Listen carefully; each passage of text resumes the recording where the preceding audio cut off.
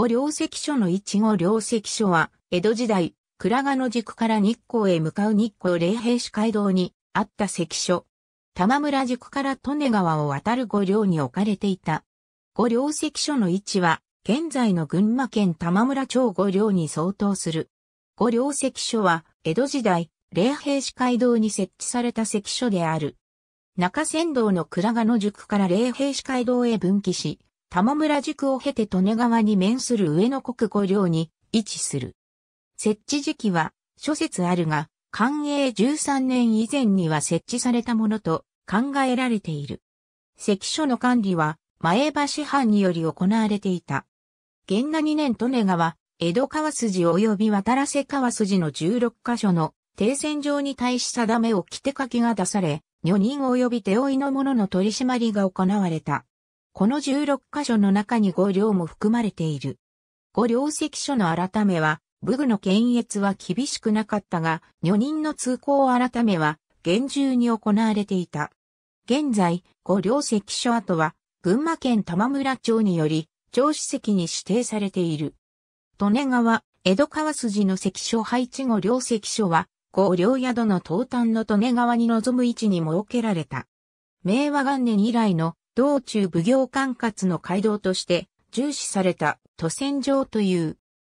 五両石所の設置時期には諸説あり、元禄10年9月という説のほか、元那2年の停戦場ハットに停戦場とあること、寛永13年に幕府から五両に当てられた上野国五両の邸から寛永13年以前には設置されたものと考えられている。また、寛永8年、幕閣の重心連書のもとに、東国の各席書規定を出し、女、手負い、欠落者など、怪しい者の取り締まりと、それを捕まえた者への報奨が達せられた。この規定書では、箱根、関宿、小仏などともに、小岩、市川、信号、川又、芝、五両、金町、松戸、某川渡し、中田などの停戦場が記されていた。五両関所は前橋藩の管理となり、関番氏は藩士3名が2ヶ月交代の禁止であった。加えて、五両宿の上下組の名主1名宛て、組頭4、5名宛て、それに長白省や同宿在住の改め女、船問屋等に出資させていたという。江戸幕府が関所を設けた目的は、幕府の政策を維持して破綻しないようにしたものであり、国内の治安警察権を行使するためのものであった。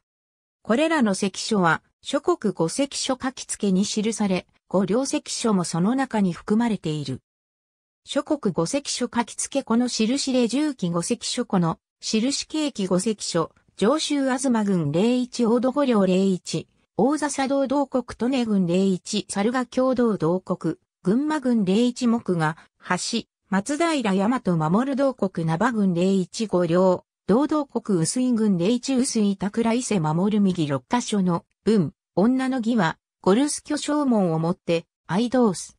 諸国五石書書き付け、大島、67の69ページ。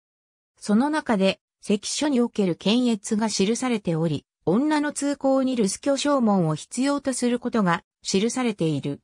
元那2年、徳川家康の死後に関東河川の停戦場に定めを着て書きが出された。江戸を出る女人と手負いの者は取り締まりを厳重にしていた。一停戦場以外の場所において、緑に往来の者を渡してはならない。一女や手負いその他怪しい者は、いずれの都戦場において求め置き、早々江戸へ中心すること。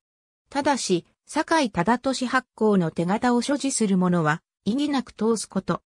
一隣の村へ通行するほどこの都線上でも通して、良い、女人や手負いの者以外でも不審がなければ、その他の領主や大官の手形を所持する者は渡して良い。一定線上であっても、女人、手負い、または怪しい者は、たとえ、堺忠俊の手形を所持した者でも、通してはならない。一すべて江戸へ来る者は、改めるに及ばない。オフレが企画補修正による636から637ページ。五両石書の改めは、武具の検閲は厳しくなく、他方女の通行改めは厳重であった。武具の検閲はなく、鉄砲についても10丁以上の入り鉄砲に、老中証文が必要であるが、鉄砲運搬には、比較的下級管理の証文で認められていた。女の通行改めは厳重で、江戸からの出女は、幕府留守居の証文を必要とした。上方から中山道を降り、欧州への通過には、上方で所定の証文を取得して、福島関所へ持参し、同所で、薄井関所への書き換え証文をもらい、さらに、薄井関所で五両関所への書き換え証文を取得する必要があった。五両関所跡に関連する史跡には、五両関所跡門中祖跡、井戸があり、玉村町で町史跡に指定されている。注釈出展文献ウェブサイト。ありがとうございます。